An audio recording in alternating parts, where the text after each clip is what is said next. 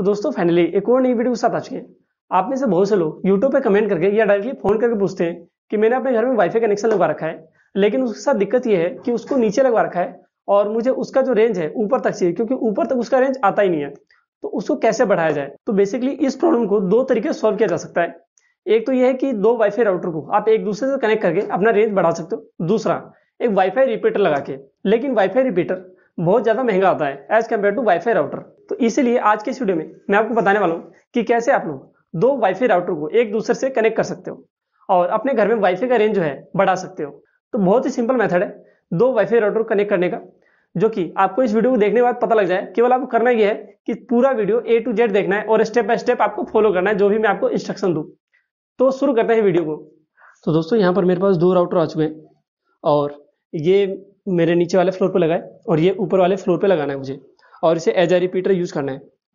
तो यहाँ से आपको स्टेप बाय स्टेप अब फॉलो करना है। कोई भी स्टेप मिस नहीं करना है, ठीक है?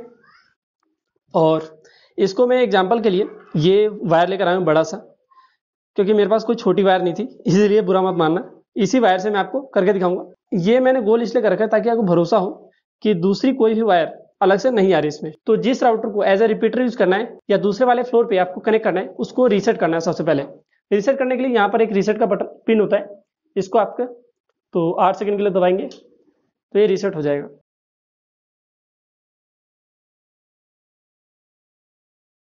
इसको रीसेट करने के बाद इस वाईफाई राउटर के यहाँ पे आपको वन टू थ्री पोर्ट दिख रहा होगा यहाँ पर। अगर आपको नहीं दिख रहा है तो मैं आपको फिर से जूम करके दिखाता हूँ। यहाँ पर बहुत से पोर्ट दिए गए हैं, क्योंकि आप लोग देख सकते हो यहाँ से। यहाँ पर आप किसी भी पोर्ट में इसे लगा सकते हो। इस पोर्ट में और इस पोर्ट को छोड़कर एक, दो में से किसी पोर्ट में आप इसको लगा सकते हो, और तो नीचे वाले वाईफाई राउटर के आपको इस पोर्ट में ये केबल इंसर्ट कर देना है, ऐसे करके। और ध्यान रहे, पहले और दूसरे नंबर में ही इंसर्ट करना है। या आप के वाले में ज़्यादा पोर्ट हो तो उसमें भी आप इंसर्ट कर सकते हो। लेकिन जहाँ पे नंबर लिखा वहीं पर।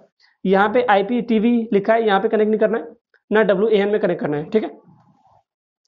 अब यहाँ से जो केबल आएगी, दूसरे वाले राउटर के, इस डब्ल्यू एन में पोर्ट में कनेक्ट कर देना है। तो डब्ल्यू एन पोर्ट का है? यहाँ पर है, जो अलग कलर में है, जो कि देख सकते हो आप लोग। और यहाँ पर हमें डब्ल्यू एन वाले पोर्ट में कनेक्ट कर देते हैं। तो यहाँ पर आप लोग देख सकते हो, ये वाईफाई राउटर इस वाईफाई राउटर से कनेक्ट हो चुका है। लेकिन अभी भी इसमें इंटरनेट नहीं चलेगा। जो कि मैं आपको दिखाता हूँ। यहाँ से अपने कंप्यूटर से कनेक्ट करके, यहाँ अगर मैं कनेक्ट करूँ तो यहाँ से मैंने कनेक्ट कर दिया। तो अब मेरे इस कंप्यूटर स्क्रीन पे आप लोग देख सकते हो, यहाँ पे अभी भी इंटरनेट नहीं चलेगा। ठीक है? नहीं चल रहा? अब एमआई राउटर के आईपी एड्रेस पे जाना है, जो कि हर राउटर के पीछे लिखा होता है। यहाँ पर आप देखोगे तो यहाँ पर लिखा रहता है, पीछे मैं आपको फ़ोटो लगा दूँगा, यहाँ पे देख सकते हो आप लोग। तो फ़िलहाल मैं आपको यहाँ पे आईपी एड्रेस पे चलते हैं। एम आई राउटर का आईपी एड्रेस है one nine two dot one six eight dot three one point one और एंटर कर देना है। एंटर करने के बाद आप यहाँ पर आ जाओगे। यहाँ पर के बाद एग्री करना है। जस्ट अ सेकेंड करेगा ये। एंड यहाँ पर आपको इसका पासवर्ड सेट करना है। जब भी आप राउटर को रीसेट मारोगे तो एमआई राउटर क्या है? उसका पासवर्ड भी रीसेट कर देता है, जिससे आपको हर बार ये अपना पासवर्ड सेटअप करने के लिए कहेगा। तो यहाँ पासवर्ड सेटअप कर देते हैं। One two three four five six seven eight nine कर दिया हमने। और नेक्स्ट कर दिया। और दोनों का पासवर्ड सेम ही रखते हैं एडमिन का ही पासवर्ड और सेटअप सक्सेसफुली कर देते हैं। करने के बाद एक और स्टेप है, जो आपको फॉलो करना है। तो यहाँ पे अब राउटर को ये रिबूट कर रहा है। तो राउटर यहाँ रिबूट हो चुका है और यहाँ से आपको राउटर के एडमिन पेज पे जाना है। यहाँ पे आ गए हम लोग। इसके बाद आपको सेटिंग में जाना है। सेटिंग में आने के बाद आपको नेटवर्क सेटिंग में जाना है। हर वाईफाई राउटर के नेटवर्क सेटिंग में ही आपको ये ऑप्शन मिलेगा, ठीक है? नेटवर्क सेटिंग में आने के बाद आपको ये नीचे आना है और यहाँ पे नेटवर्क सेटिंग में इसका टाइप सेलेक्ट करना है। आपको अपने वाईफाई राउटर में पीपीओई करके सिलेक्शन मिलेगा, लेकिन इसको हटा के आपको डीएचसीपी सिलेक्शन करना है। बहुत से राउटर में क्या होता है, इसका नाम फुल फॉर्म में लिखा रहता है डायनमिक होस्ट कॉन्फ़िगरेशन तो आपको वही सेलेक्ट करना है। डीएचसीपी सेलेक्ट कर लिया, उसके बाद यहाँ पे कन्फिगर डीएनएस ऑटोमेटिकली मैनुअली पे आपको क्लिक नहीं करना है ऑटोमेटिकली पे क्लिक करना है और उसके बाद अप्लाई कर देना है।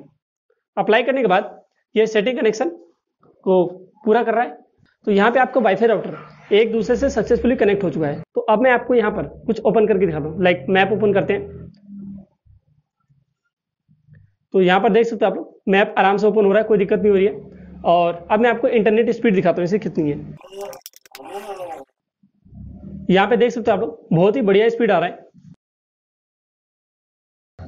यहाँ पे डाउनलोडिंग 94.6 एमबीपीएस आ रहा है।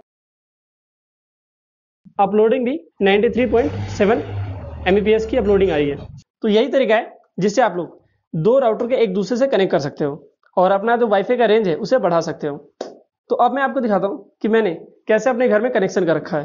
तो यहाँ पर मेन वाईफाई राउटर है, जिसमें इंटरनेट कनेक्शन आ रहा है बाहर से। और इस वाईफाई राउटर को मैंने ऊपर वाले वाईफाई राउटर से कनेक्ट कर रखा है, जो कि आप लोग वहाँ देख सकते हो, एक और वाईफाई राउटर है, जिसको मैंने एज ए एक्सटेंडर बना रखा है। तो ऐसे ही आप लोग अपने घर में भी एक्सटेंडर यूज़ कर सकते हो। तो मुझे उम्मीद है कि आपको पता लगा होगा कैसे आप दो वाईफाई राउटर को एक दूसरे से कनेक्ट कर सकते हो। फिर भी अगर आपको कोई सवाल या सुझाव हो तो आप नीचे कमेंट करके बता सकते हो, ताकि मैं आपको जवाब दे पाऊँ। तो मुझे उम्मीद है कि आपको वीडियो पसंद आया हो। वीडियो पसंद आया हो तो वीडियो को लाइक कर देना। अगर आप इस चैनल पर नए हो, ऐसे वीडियो आगे देखना चाहते हो तो चैनल को सब्सक्राइब कर देना। अगर नहीं कर रहे हो तो ये परसेंटेज देख लो, मेरा बहुत कम है। सो प्लीज़ सब्सक्राइब करो, ताकि ये परसेंटेज आगे बढ़े और हम ऐसे ही ग्रो करते रहें। तो मिलता है अगली वीडियो में तब तक के बाय